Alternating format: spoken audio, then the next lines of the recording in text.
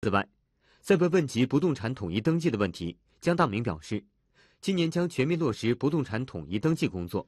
今年我们的工作的重点就是使这项工作能够在基层得到全面的落实。